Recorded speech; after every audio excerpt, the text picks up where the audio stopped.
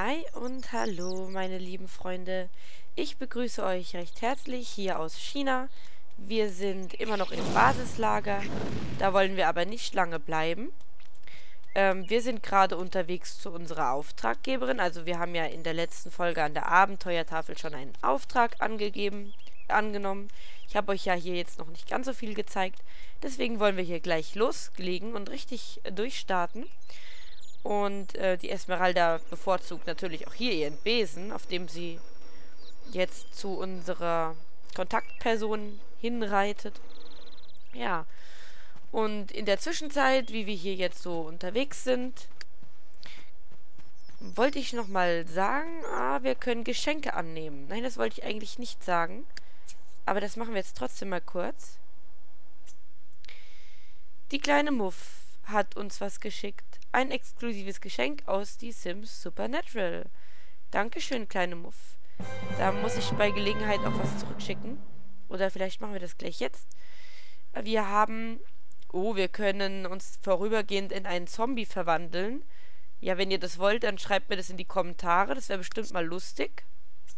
Das können wir ja mal bei Vollmond, können wir das vielleicht mal machen. Und ich würde sagen, wir schicken der kleinen Muff jetzt natürlich auch etwas zurück. So, ich würde sagen, wir schicken, wir schicken ihr... Nee, das wieder zurückschicken wäre ja blöd. Schicken wir doch auch was aus Supernatural. So. Herzlichen Dank für den Trank. Oh, das reimt sich sogar. Was sich reimt, ist gut. Hier ist auch ein Geschenk für dich. So. Abschicken. Sehr schön. Okay, das wäre also erledigt. Wir haben 600 Zufriedenheitspunkte bekommen. Mm. Und jetzt unterhalten wir uns mal hier mit der Dame. Wir haben 10 Visumpunkte erhalten. Über die habe ich euch ja schon aufgeklärt in der letzten Folge. Von denen braucht man halt sehr viele, damit man sich dann auch so ein Ferienhaus hier kaufen kann. Und jetzt lese ich mal hier vor. Zum Glück hat sich endlich jemand gemeldet. Los jetzt, es gibt viel zu tun. Ich habe gehört, dass eine Gruft ganz in der Nähe einen wertvollen Schatz beherbergen soll. Wenn du ihn mir bringst, erwartet dich eine hübsche Belohnung. Mit diesem Schlüssel gelangst du in die Gruft. Worauf wartest du noch? Mach schon. Ja, Ziel ist es also hier ein antikes Relikt für Maya Wang zu beschaffen. Und wir bekommen Simoleons und antike Münzen als Belohnung. So, das werden wir allerdings natürlich sofort tun. Wir sollen jetzt in die Hallen der verlorenen Armee. Da muss man aber vorher auf jeden Fall erstmal schauen, wie das hier aussieht mit unseren Bedürfnissen. Die sind soweit eigentlich Paletti. So, aber wir gehen jetzt auf jeden Fall erstmal hier auf den Markt weil wir können uns nämlich erstmal Ausrüstung kaufen, wenn wir jetzt in so eine Gruft gehen wollen. Also hier sehen wir auch schon die Hallen der verbotenen Armee, wo wir dann rein müssen. Wenn wir jetzt in so eine Gruft gehen wollen, dann sollten wir auf jeden Fall erstmal hier auf dem Markt uns Ausrüstung besorgen. Deswegen besuchen wir den jetzt mal. Ja, yeah, was wollte ich euch noch erzählen hier über China?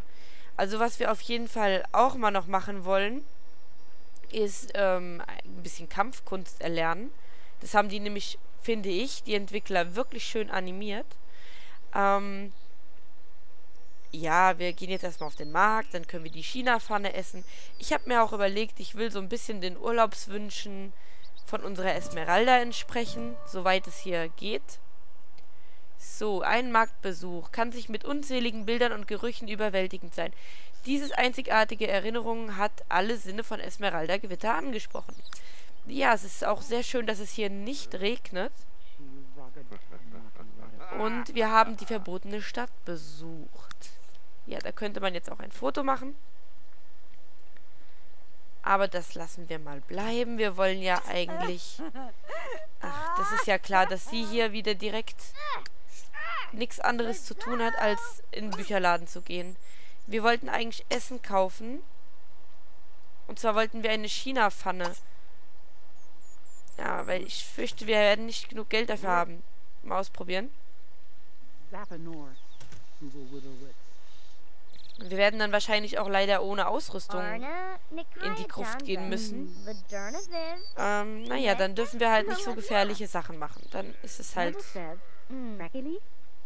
Dann ist es für die erste Grufterfahrung halt eben so, dass wir keine dass wir keine Ausrüstung haben.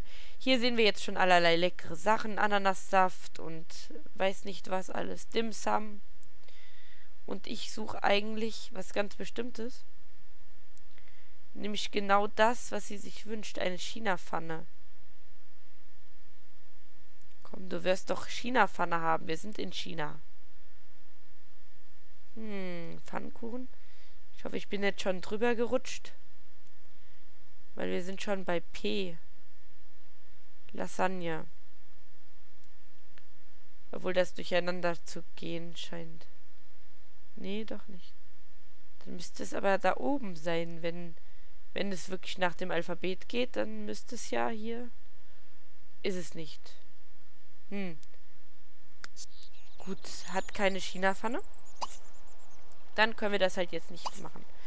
Dann würde ich doch sagen, da wir jetzt uns auf dem Markt hier erstmal ein bisschen umschauen. Also hier gibt es einen wunderbaren Teich. Könnte man übrigens auch drin schwimmen oder schnorcheln.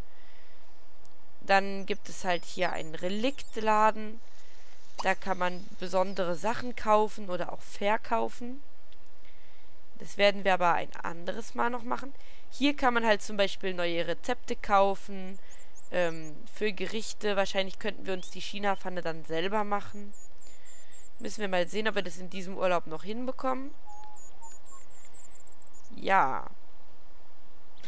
Okay.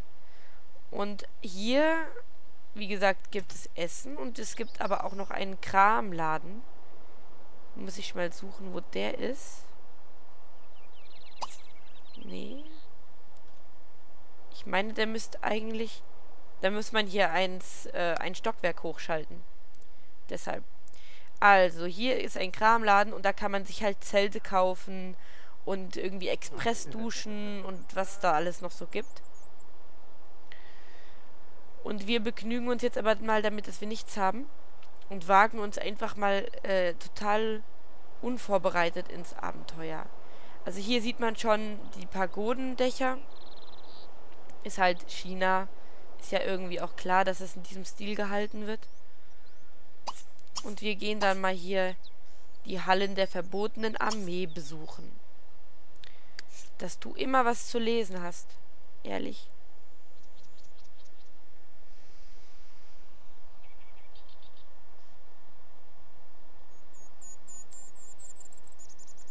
So, meine Liebe, wo bleibst du denn?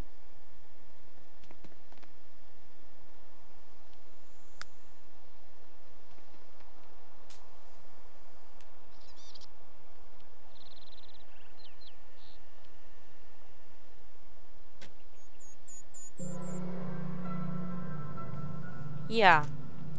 Okay. Ähm, ich will ganz kurz was erklären. Das läuft jetzt hier alles ein bisschen anders, als man das so von den Sims kennt. Das ist jetzt wirklich so, dass wir unseren Sim richtig verfolgen. Jetzt haben wir eine Bodenplatte, die kann man auslösen, indem man sich draufstellt. Die Bodenplatte wiederum öffnet eine Treppe. Und wir wollen jetzt auch nicht hier diese Statuen bewundern. Hier kann man jetzt nicht sonst viel machen. Wir wollen natürlich die Treppe nach unten nehmen, weil wir wollen ja wissen, was uns da unten erwartet. Hier natürlich die wunderschön animierten Backszenen des Kellers. Ja, und jetzt sehen wir schon, hier kann man was lesen. Das machen wir jetzt auch mal. Auch wenn das zwar für mich ein alter Hut ist. An die Wand ist eine... Ich muss mal hier kurz Pause machen, sonst geht uns zu viel Zeit von unserem Urlaub drauf. An die Wand ist eine Nachricht geschmiert. Jeder gute Forscher sollte immer ein Zelt und getrocknete Lebensmittel griffbereit haben. Der Eingang hat sich hinter mir geschlossen, doch zum Glück bin ich vorbereitet.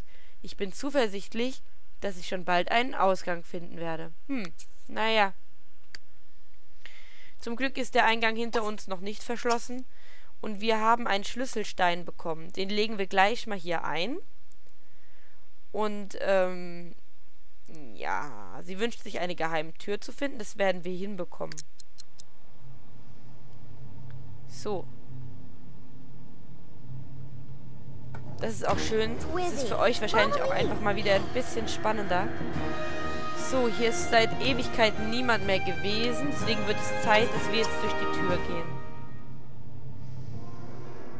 Und hier finden wir unseren ersten Schatz. Und zwar sind es antike Münzen. Können wir uns derweil schon mal auf die Bodenplatte stellen. Esmeralda Gewitter hat 30 antike Münzen gefunden. Dein Sim-Haushalt verfügt jetzt über insgesamt 30 antike Münzen. So. Ja. Hmm. Gut, die Tür ist offen. Aber wir haben ja hier noch eine Statue und die kann man ziehen. Beziehungsweise auch schieben. Ihr seht nämlich, wenn wir von der Plattform wieder runtergehen, verschließt sich die Tür wieder. Ist ja eigentlich kein neuer Trick. So, dann ziehen wir mal weiter an der Statue. Jetzt haben wir die hier draufgestellt. Und dann können wir tatsächlich durch die Tür gehen. Muss immer alles genau ansehen, weil man kann auch Wände untersuchen. Und auch da kann man versteckte Türen finden. So, jetzt sehen wir schon eigentlich, was wir machen müssen. Wir müssen die Statue hier draufziehen und ich will mal versuchen, einen Screenshot davon zu kriegen. Obwohl das jetzt ein bisschen doof ist, dass sie an Geschenke denkt. Warte mal. Hm, naja.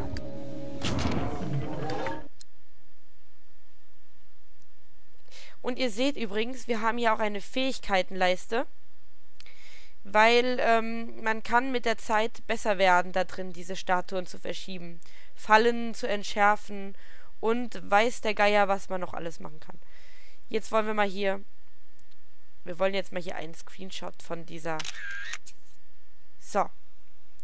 Von dieser Statue wollte ich einen Screenshot. Ist zwar jetzt nicht der schönste geworden, aber vielleicht bekommen wir noch einen besseren. Das werden wir mal sehen. Ich habe mir ja vorgenommen, die Thumbnails auch ordentlich zu machen. Auch wenn ich damit manchmal ein bisschen hinterherhinke. Das wird alles nachgeholt. So, dann stell dich mal hier auf die Platte. Damit die Tür auch aufgeht. Ja, will nicht so klappen, oder? Vielleicht sind wir nicht schwer genug. Musst du mal mehr essen, Esmeralda. So, wir können durch die Tür. Und sind gespannt, was uns hier erwartet. Okay, ich mache mal wieder auf Pause. Der Gesichtsausdruck ist genial, oder? Also das gehört ein Foto. Das gehört sich auf jeden Fall ein Foto. Auf jeden Fall. So, also ich vermute mal, sie war eben auch noch nie in einer Gruft. Ja, was wollte ich sagen? Hier ist eine Falle. Hm, die lässt sich auf verschiedene Art und Weisen deaktivieren. Entweder wir können versuchen, sie zu überqueren oder wir können versuchen, sie zu entschärfen. Oder im einfachsten Fall, wie hier, haben wir Glück und wir schieben einfach mal die Statue auf die Falle drauf. Und dann sehen wir, was passiert. Übrigens schieben wir diese Statuen immer genau ein Feld weiter vor. Wenn ich jetzt weit schieben drücke, nur um es mal ähm, vorzumachen, dann schiebt sie die Statue so lange weiter, bis es nicht mehr geht. Also sie würde die jetzt bis hinten da an die ganze Wand schieben. So, das wollen wir ihr mal ersparen. Das muss sie ja jetzt nicht machen. Ähm, hier ist nichts. Hier gibt es einen Schutthaufen. Den können wir auf jeden Fall entfernen. Da holt sie dann mal so ein Spitzheil eben aus der Hosentasche. Jetzt wünscht sie sich mit Magie zu spielen. Kein passender Moment, Fräulein. Obwohl so schlecht ist das gar nicht, dann hätten wir einen Apfel, den könnten wir dann mal essen. Könnten wir mal eine kleine Proviantpause hier machen.